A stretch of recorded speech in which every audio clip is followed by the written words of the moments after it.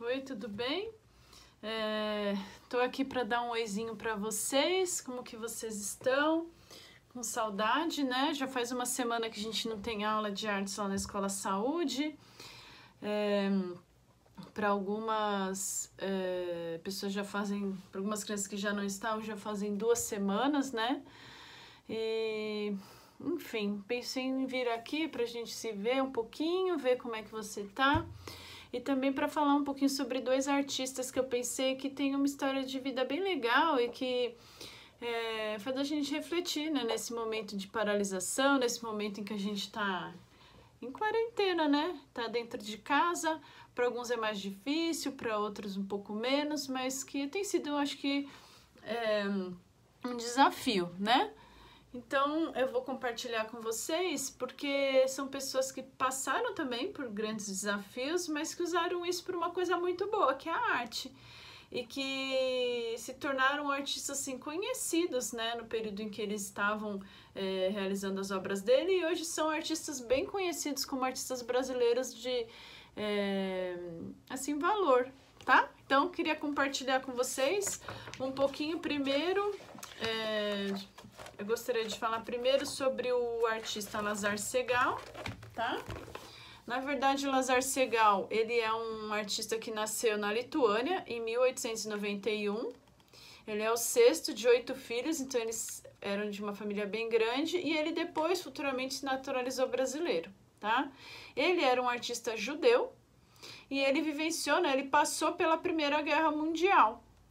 Então, por isso, é, ele teve experiências e contato, ele nunca passou, ele, graças a Deus, não, não foi preso, tudo, mas por um período ele ficou tendo que ficar é, recluso numa cidade por ser artista, não podia sair dali, enfim, tá? Vou contar um pouquinho sobre a história dele. Ele, em 1912, visitou o Brasil, mas depois voltou para a Europa e teve toda a questão que eu já compartilhei, né, é, sobre a Primeira Guerra Mundial e no país em que ele vivia, né, a, a, guerra foi, né, um país que vivenciou a guerra.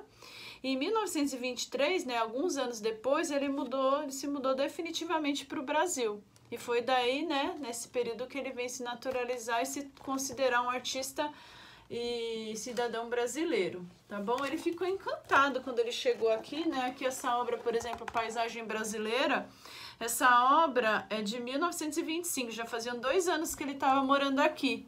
E dá para ver que ele percebe muito a cor aqui, né? Então ele achou, ele ficou deslumbrado porque aqui ele achava que a luz era diferente, que o sol era diferente, que dava uma cor diferente para tudo.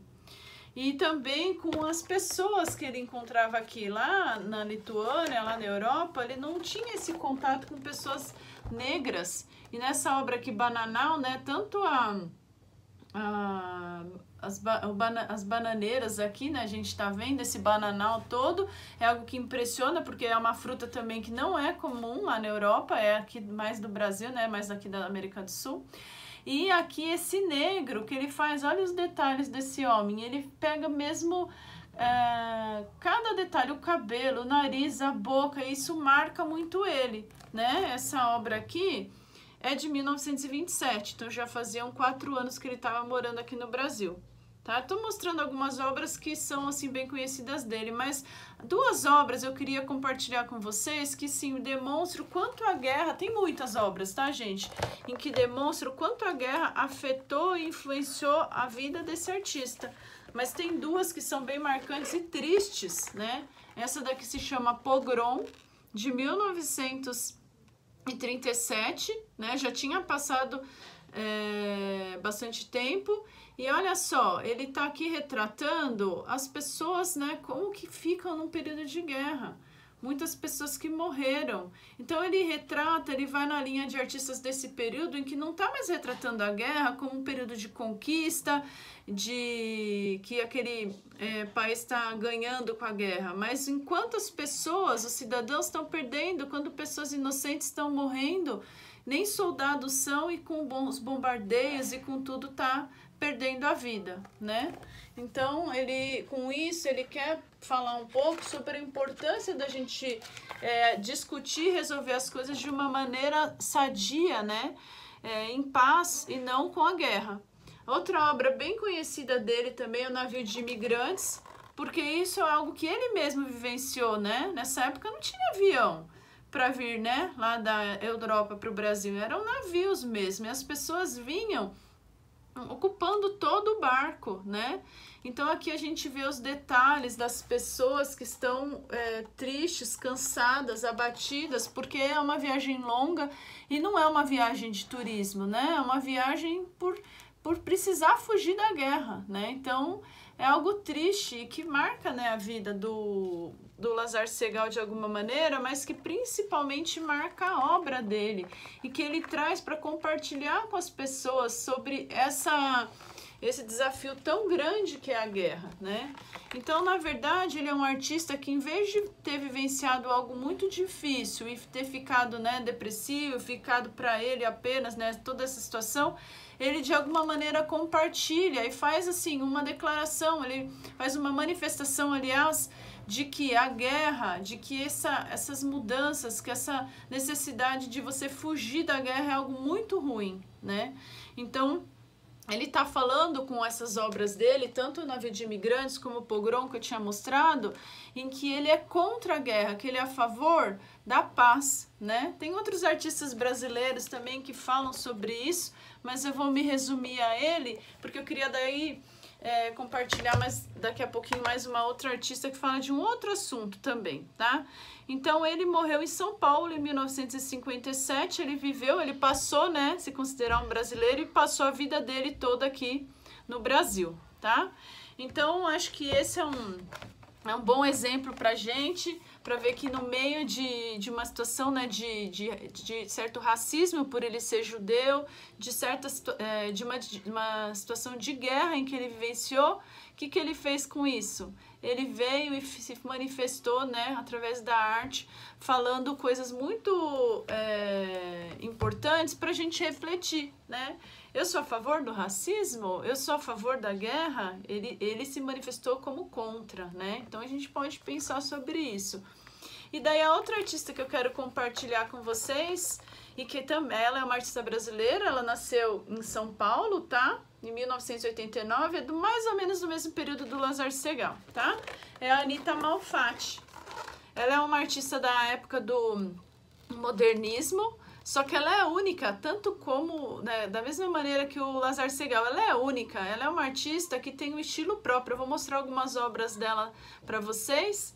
É, ela nasceu com uma atrofia no braço direito, no braço e na mão direita. Então ela não conseguia usar o braço direito dela. Então aqui na foto a gente pode observar que ela está usando o braço esquerdo dela. E que interessante, né? Uma pessoa que tem uma deficiência no braço se tornar uma pintora e uma pintura bem conhecida, né? É, e o que, que ela fez? Ela se retraiu, deixou de mostrar. Ela era um pouco tímida, né? A história conta que ela era uma pessoa um pouco tímida, até por essa situação que ela tinha física, né? Mas ela criou obras que são muito é, reconhecidas como obras importantes do, aqui brasileiras. Essa daqui, ó, que eu estou mostrando para vocês é a Boba, tá? É, de 1915. Eu vou mostrar três obras desse ano dela, tá? Ela tem um, um estilo de pintura que a gente chama de expressionismo, né? De, é, ela usa muitas cores e ela muda as cores. Por exemplo, ninguém tem um rosto dessa cor vermelho, com as bochechas tão rosas. É tudo bem expressivo, com muito exagero, tá? Esse é o expressionismo, tá? Então, essa é a Boba. Vou mostrar mais duas obras dela. Esse é o Homem Amarelo, de novo, aqui ela tem uma que ela pinta uma senhora com cabelo verde, por exemplo, mas essa ela pinta o homem com o rosto todo amarelo. Nossa, que escândalo! É diferente hoje, a gente acha que a gente pode usar as cores como a gente quer, né? Mas naquela época não era assim, não. Nossa, essa mulher não sabe pintar, ela não enxerga, não sabe que ninguém tem o rosto dessa cor, né? Então era mais ou menos assim que ela recebia as críticas, né? É, e quero mostrar mais uma também interessante aqui. É, deixa eu ver se eu encontro também a mulher de cabelo verde para vocês. Só para você, vocês terem uma noção. Depois eu, eu mostro então no final. Então essa que eu já selecionei o japonês, né? Esse daqui também de 1915 e de novo, tudo muito expressivo, né? Ela lembra um pouco em algum, como nessa essa pintura, por exemplo, ela lembra um pouco o Picasso, né? Que tem é, ele é muito expressivo na forma de pintar, né? Embora ele não seja expressionista, ele é cubista, mas a forma que ela retrata o rosto, né? Que ela desenha o rosto lembra um pouquinho esse outro artista. Então, a Anita Malfatti é um outro exemplo, né, de artista em que usou é, a arte como uma maneira de se expressar, né? Essa daqui também é de 1915, ó, a mulher de cabelos verdes, né? Então é, é, interessante que a forma que ela retrata as pessoas, né? Que ela vai que a gente vai vendo nessas pinturas é bem própria dela e é diferente do que os outros também artistas faziam, tá? É, ela morreu em São Paulo mesmo, nasceu e morreu em São Paulo em 1964. Ela viveu bastante, assim, pra época ela viveu bem, uns 70 e poucos anos, né? Enfim, é isso que eu queria compartilhar com vocês e queria que vocês pensassem um pouquinho sobre isso. Ela era uma artista, era, ela devia ter ficado na dela ou ela devia mesmo ter sido como foi alguém que vence mesmo os desafios né, que a vida traz?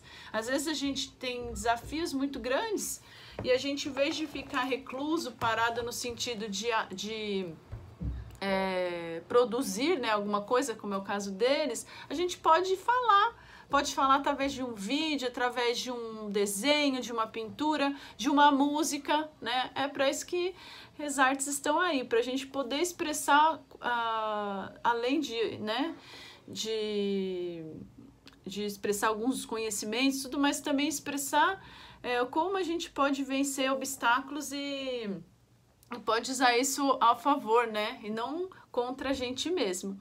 Então, queria, era isso que eu queria compartilhar com vocês. Se vocês quiserem é, fazer depois um desenho, lembrando desses artistas, vocês podem pesquisar um pouquinho mais, se vocês quiserem conhecer mais, tá?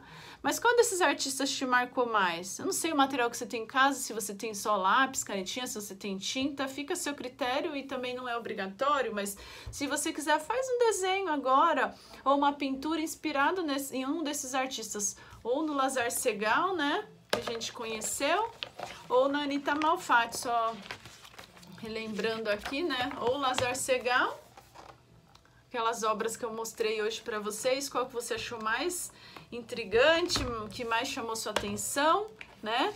E, ou, né, Anitta Malfatti, com essas pinturas expressionistas é, que ela traz pra gente, tá bom? Espero que logo a gente possa se ver, tô com saudade e que vocês fiquem bem, tá bom? Quem fizer o desenho, a atividade, quiser me mandar uma foto aqui pela agenda, eu vou ficar bem feliz de ver, tá bom? Um super beijo uma... e que logo a gente possa se abraçar de verdade fisicamente, não aqui só virtual, tá bom? Até mais, tchau!